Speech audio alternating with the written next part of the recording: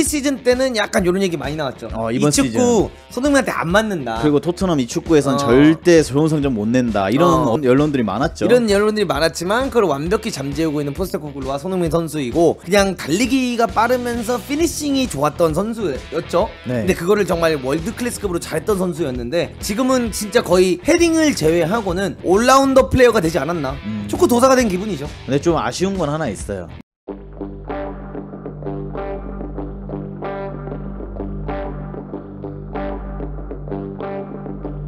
일단 손흥민 선수 이야기로 저희가 먼저 여러분들에게 오프닝을 할 건데요. 지난주에 이제 아스톤 빌라전에 정말 맹활약을 하고 나서 손흥민 선수가 인터뷰를 좀 했었는데 손흥민은 나 혼자 이룬 게 아니다. 이 모든 것들이 감독님과 스태프들의 도움이 있었다. 특히 감독님이 나를 많이 도와주셨다. 더 나은 선수로 만들어준다. 여기서 끝나지 않길 바란다. 이렇게 이제 인터뷰를 통해서 자신의 심정을 밝혔고요. 이어서 이제 감독님에게 완벽한 선수가 되고 싶다. 그러기 위해 더 노력해야 한다며 의지를 불태우기도 했다. 그리고 더 열심히 해야 한다. 여전히 개선해야 될 부분들이 많다. 현재 안주하지 않고 더 열심히 하겠다. 이렇게 이제 표현을 좀 했습니다. 근데 이걸 보면서 이제 좀 느낄 수 있는 것 중 하나가 손흥민 선수가 이 말한 인터뷰 보면 다 사실이 맞아요. 진짜 포스테코글루 감독님이 와서 토트넘에서 좀 말도 안 되는 플레이를 보여주고 있고요. 아 진짜 토트넘이 이렇게 공격적이고 재미있는 축구를 할 수 있나라는 생각이 들 정도로 포스텍 감독님이 온 이후로 토트넘이라는 이 구단의 그 스타일이 화끈해진 게 맞죠. 네. 옛날에 토트넘이 약간 해리 레드냅 감독님 때뭐 베일에 막 레논에 모드리치. 막 모드리치 있고 앞에 막 데포랑 로비 킨에 피터 크라우치에 파블류첸코 네. 요 이- 이때 좀 재밌었거든요 토트넘 그때 제가 영, 시원시원했어요. 제가 영국 살 때인데 네. 그때는 토트넘 축구 보면서 아 그래도 얘네 이제 머리가 깨지더라도 약간 공격한다는 느낌 네, 나고 뻥글랜드 진짜 축구였죠. 어, 진짜 재밌는 축구를 했어요. 이렇게 재밌는 축구를 했는데 사실 최근에 토트넘을 바라보면 뭔가 와, 와 감탄이 나올 만한 정도의 플레이를 하진 않았었죠. 네. 그러다 이제 이제 포스테코글루가 온 이후로 완전히 뒤바뀜이 된 거 맞고 포스테 코글루가 온 다음에 손흥민 선수가 더 는 것도 맞아요. 아 많이 어. 아 그러니까 뭐 성장이라는 표현이 좀 애매하고 이미 완성된 선수인데 완성된 선수들에게 뭔가 좀 스파크를 튈 만한 전술적인 주입이 들어가기 시작했다. 그리고 이제 공격적인 축구를 하고 주도적인 축구를 하다 보니까 거기서 손흥민에게 더 많은 role들이 이제 부여되기 시작했다라는 좀 이야기를 바라볼 수 있고 프리시즌 때는 약간 이런 얘기 많이 나왔죠. 어, 이번 이 축구 시즌. 손흥민한테 안 맞는다. 그리고 토트넘 이 축구에선 어. 절대 좋은 성적 못 낸다. 이런 어. 어. 여론들이 많았죠. 이런 여론들이 많았 지만 그걸 완벽히 잠재우고 있는 포스테코글루와 손흥민 선수이고 막 왼쪽 윙에 출전을 하고 막 공격수 출전할 때도 막 이 축구는 손흥민에게 안 맞는 축구가 될 거다라고 말을 많이 했어요. 나는데 궁금한 게 무리뉴의 버스 축구에서 카운터하는 것도 안 맞아. 네.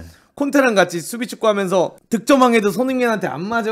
포스테코글루의 빌드업 축구에도 이 왼쪽 윙에서 뛰면 손흥민한테 안 맞아. 그럼 도대체 맞는 축구는 뭐야? 그냥 소니가 골 많이 넣으면은 최고의 축구라고 생각하시는 것 같아요. 어, 그래서 여러분들 손흥민 선수가 그러면 포스테코글루 아래서 어떤 부분들이 늘었냐를 좀 봐야 되는데 저는 가장 이야기하고 싶은 게 바로 이 부분입니다. 음. 손흥민 선수가 이제 공격수에서 뛸 때는 이런 식으로 이제 내려오면서 공을 받는 경우가 꽤 있죠. 근데 네. 이거는 콘테 때도 비슷했어요. 해리 케인이랑 둘이 서 있다 고 하면은 약간 two top 느낌으로 나올 때도 꽤 있었죠. 근데 그때 손흥민이 공을 받으러 내려오면 그때 당시에는 뭔가 공격적으로 패턴 플레이가 정해진 게 좀 많이 없었다 보니까 음. 손흥민 선수가 내려와서 공을 받을 때도 약간 터치를 많이 하고 음. 오히려 turnover가 생기고 손흥민이 공을 잡아도 약간 뒤로 드리블을 치다가 결국에는 back pass를 내주는 장면들이 많이 나왔다라고 하면은 포스텍 감독님의 전술 안에는 본인들이 정확히 이 움직임을 하거나 이 패스를 넣었을 때 내가 어떻게 움직여야 되는 걸 알고 있다 보니까 손흥민 선수가 이런 half space로 내려오면서 뛰어들어오는 우도기에게 논스톱으로 돌려준다 든가 아니면 나가는 셉셉이를 보고 한 번에 이렇게 길게 돌려친다든가 이런 장면들이 굉장히 많이 나왔죠. 이런 부분들이 포스테코글루 감독님을 만나면서 공격수적인 손흥민에게 굉장히 좋아진 부분들이다 라고 이야기할 수 있을 것 같고 또 다른 부분 중 하나는 이제 페드로 포로가 이렇게 공을 잡았을 때 작년 시즌 기준으로 보면 페리시치가 공을 잡든 포로가 공을 잡든 로얄이 공을 잡든 뭐 도어티가 잡든 누가 잡든지 간에 손흥민 선수가 미친 듯이 뛰어들어가기보다는 좀 뒤로 나오면서 요 area 지역에서 공을 받으려고 한다는 느낌이 꽤나 많이 나왔었거든요. 그죠 cutback 패스를 받아서 감아차기를 좀 노린다거나 이런 포지션을 좀 많이 잡았죠. 그래서 이제 우리가 했던 얘기 중 하나가 왜 손흥민이 이렇게 안 뛰어 들어갈까? 손흥민 선수가 박스, 박스 타격만 많아지고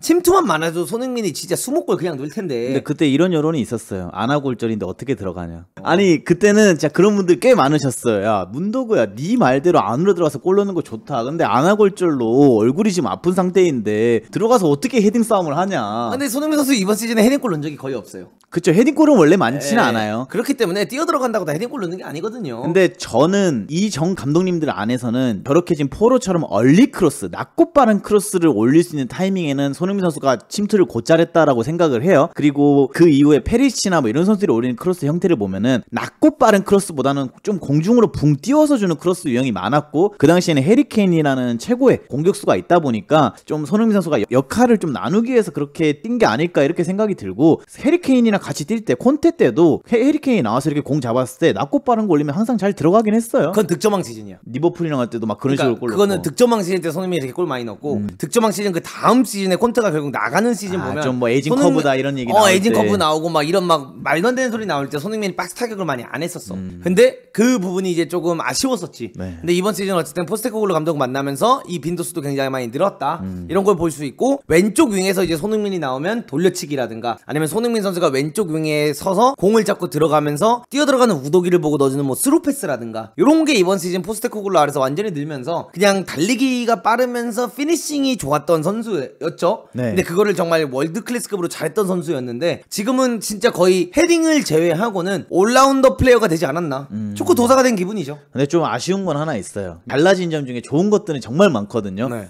안 좋은 게 하나 있다라고 하면 욕심이 많이 줄었어요. 상당히 음. 이타적인 플레이어가 돼서 이전에 뭐 득점왕을 했던 시즌 혹은 그 이전 시즌을 되돌아보면은 정말 박스 안에 들어가면 손흥민 선수는 뭔가 골에 굶주려 있는 선수 같았는데 어. 요즘에는 좀 옆에 있는 선수들에게 어. 많이 패스를 좀 시도하고 있어요. 그건 맞다. 예, 그래서 그래서- 그런 것들은 좀 아쉽다. 어 그런 것들이 이제 조금 아쉬운데 뭐 그만큼 또 어시스트를 또 쌓고 있고 지금도 벌써 잘 공격 포인트 20개 넘었으니까 4위죠. 공격 지금 골 순위 벌써 4위까지 올라온 거 보면은 그래서 그게 더 아쉬운 거예요. 거기서 만약에 욕심을 좀 더 내서 몇 골 더 넣었으면은 어땠을까? 어, 네. 이렇게 맞아요. 그것도 뭐 동의할 수 있는 의견이고 그다음에 이제 손흥민에 대해서 굉장히 극찬들이 많이 이어지고 있습니다. 팀 셰우드라고 옛날에 토트넘의 감독이고 이 감독님이 해리 케인을 어떻게 보면 만든 사람이다. 그저 2군 팀이었나? 네, 그렇게 예. 볼수 있는 감독님이고 제이미 오하라 옛날에 토트넘에서 핫했던 선수죠 제이미 오하라까지 있는데 이 두 분이 이렇게 얘기합니다 토트넘에서 선수와 감독을 모두 경험했던 팀 셰우드는 손흥민이 다시 태어난 것 같다 계속해서 이러한 플레이를 보여줄 것 같다며 극찬을 아끼지 않았고요. 이 감독님은 계속해서 이제 이야기한 것 중 하나가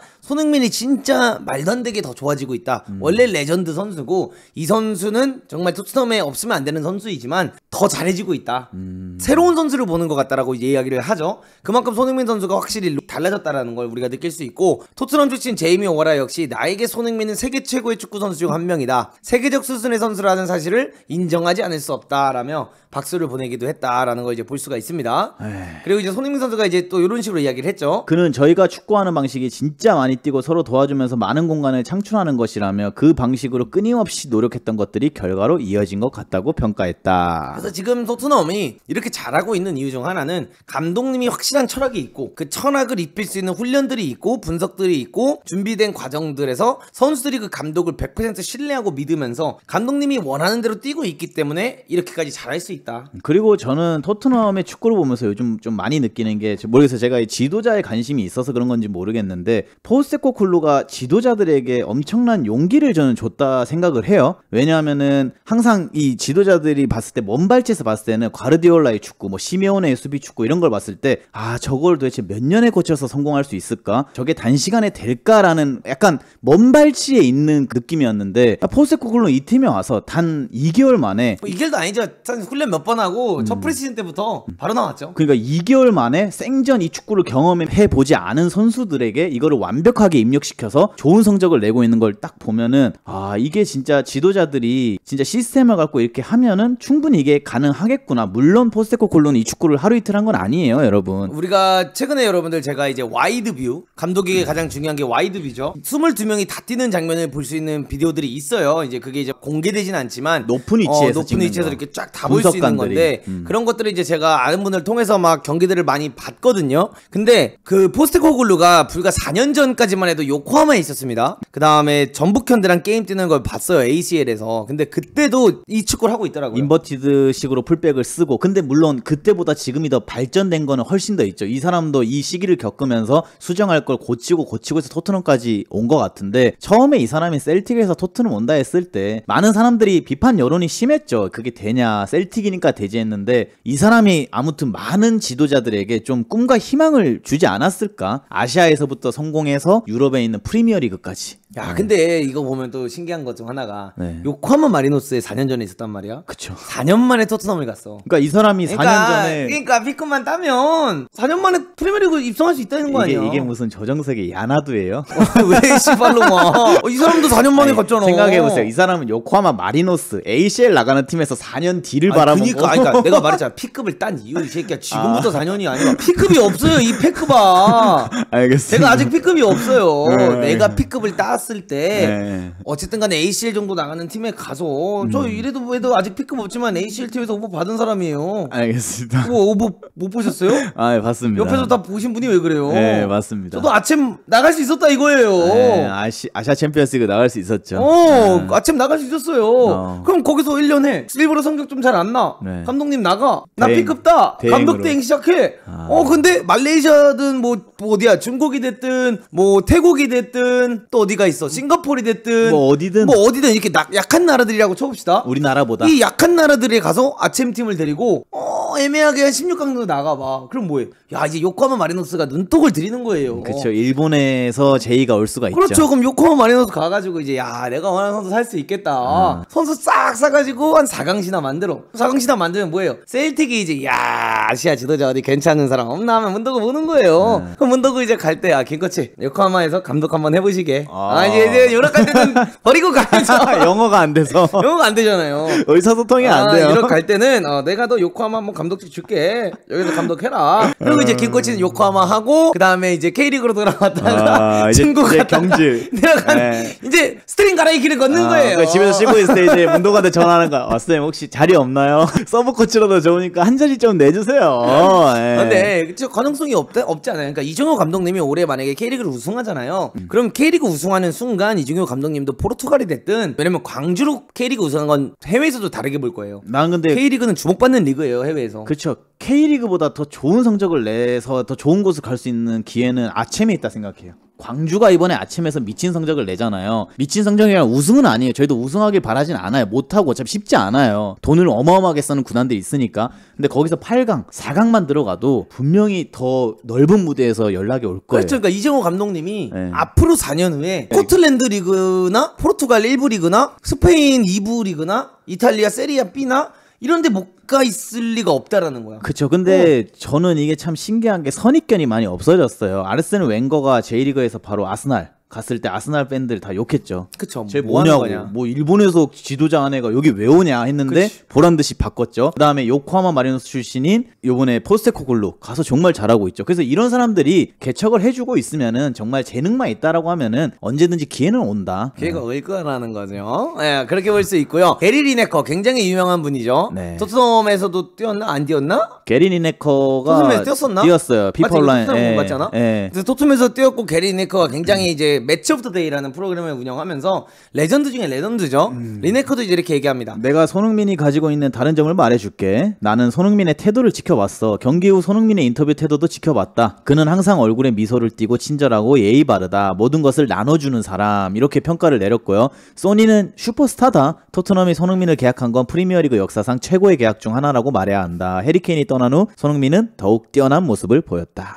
근데 진짜 토트넘이 영입한 선수 중에 최고의 아프 중 하나이긴 해. 아웃풋은 나가야 그거 되는 거 아니에요? 여기서 배출을 해내서 성장시켜서 아니 배- 근데 여기서 그냥 남은 가 왜냐면 토트넘이 이제 약간 해리케인 같은 경우에는 네. 잘하 나왔죠. 네. 뭐 모드리치 같은 선수도 물론 와가지고 잘해가지고 나가고 했지만 음. 토트넘이 아직도 남아 있으니까 그러니까 이적으로 이렇게 데려와서 이렇게 요긴하게 토트넘 내에서 가장 잘 쓰는 선수 손흥민이죠. 반대로 말하면은 아쉬워요. 팬- 최고의 결과. 근데 팬 입장으로서는 아쉬워요. 와서 거쳐서 더 좋은 팀 가서 발롱도르 수상까지 도 막 가는 선수들 보면은 소니는 왜 여기 남아 있어야 되는가를 한번 좀 생각해 볼 수도 있지 않을까. 진짜 토트넘을 싫어하는구나 너는. 아니 모드리치, 가레스 베일 네. 결국에는 다 떠나고 난뒤 베르바토. world 그 아이고. world best 계열에 들어갈 만한 성적을 냈고 해리 케인도 떠났잖아요. 그러고 보면은 왜 소니는 여기서 마지막까지 이렇게 남아 있는 건가라는 아쉬움은 있죠. 근데 여기에 이렇게 남아 있었기에 정말 이 정도의 레전드가 된 걸 수도 있어. 아니 뭐 리버풀 간다고 해서 아니, 그러니까 뭐 다른 안 팀을? 간다고 해서 무조건적으로 잘 적응해서 그러니까 어떠한 선수가 네. 정말 잘하는 선수도 예를 들어 아자르가 네. 레알 가서 이렇게 뚱뚱해지면서 폭망할지 누가 알았겠어. 아 그거는 이제 개인의 문제인 거. 그러니까 그러니까 그런 것처럼 뭔가 안 맞을 수 있다라는 거지. 뭔가 잘못될 수도 있는 쏘니도 거고. 그러면은 딴 데 가면 뚱뚱해져서 선수 관리를 못 한다. 뚱뚱해진다가 아니라 네. 그냥 안 풀릴 수도 있다는 거지. 예를 들어 아. 손흥민 선수가 지난 시즌에도 물론 골을 많이 넣고 공격 포인트 많이 했지만 지난 시즌을 기준으로 봤을 때는 그래도 부진한 시즌이다라고 얘기를 할 수는 있죠. 공격 stat을 떠나서 그쵸. 경기력적인 부분이나 이런 걸 봤을 땐 좀 부진했다라고 볼 수도 있어요. 근데 그런 거를 만약에 이적해서 한다라고 하면은 그때는 그 팀에 주는 신뢰도가 뭐 나이가 들었다, 좀 속도감이 떨어지기 시작했다 이런 것들이 더 부정적이게 다가갈 수 있다는 거죠. 음, 그 선수를 평가하는 기준이 아 그렇지 약간 김민재가 이번 시즌 나폴리에 그대로 남아 있었어 아. 그러면 만약에 이렇게까지 비판을 받았을까 더 아니지. 좋은 대우를 받았겠죠. 어 이제 그런 것처럼 손흥민이 꾸준히 남아 있었고 이 팀에 대한 신뢰도가 올라가고 팀에서 활약하는 그 명예라든가 뭐 이런 위치가 계속 올라가다 보니까 이렇게 좀 안 되는 날이 있어도 그냥 손흥민 어차피 잘할 거야라는 굳은 믿음이 있다라는 거죠. 그렇죠. 대구의 세징야가 바셀루스 대신에 풀타임을 뛰는 이유. 아, 그런 느낌인 거죠. 근데 저거 그는 항상 얼굴에 미소를 띠고 친절하고 예의 바르다라는 얘기를 했잖아요. 리네커가. 근데 아시아의 선수들이 저거는 좀 신기한 부분인가 봐요. 외국인들이 봤을 때. 그러니까 외국 사람들은 감정 표현에 자유롭잖아요. 음. 내가 만약에 기분이 안 좋고 경기력이 안 나왔을 때 믹스 전에서 가끔은 욕을 할 수도 있고 짜증을 낼 수도 있는데 우리나라 사람들은 웬만해서는 자기 감정을 잘 돌출 안 하잖아요. 근데 요즘 왜 이렇게 많이 하세요? 근데 그러니까 여기서 또 한 마디 더 붙이고 싶었는데 어, 게리 리네커가 실수하는 것 중에 하나가 요즘 대한민국도 여러분 MZ 세대는 네. 자기 감정 자유롭게 표현합니다. 아, 저도 MZ입니다. 그래서 아. MZ는 표현할 줄 압니다. 어, 더 이전 세대들은 조금 숨기고 참아야 되는데 MZ는 표현한다. 아, 네. MZ는 표현한다. 네. 아, 알겠습니다. 대표팀만 봐도 알잖아요. MZ 아, 세대. 하여튼 그렇게 이제 바라볼 수 있다 하면서 토트넘이 잘 되고 있는 이유 손흥민 선수가 정말 해외에서도 정말 끝- 정말 이번 시즌 엄청난 극찬을 받으면서 포스테코글루 아래서 완벽히 달라졌다 음, 그리고 마지막으로 하나 더는 이거는 뭐 기사에 나온 건데 쓰레기 청소를 하고 그거에 어. 대해서도 이제 리네커가 말한 거야 아. 어. 근데 쓰레기 청소하고 간 거는 나는 지금 이거는 이렇게 말하고 싶어. 팀의 주장이 쓰레기 줍는데 사르는 도대체 어디 있었던 거야? 맞아야죠.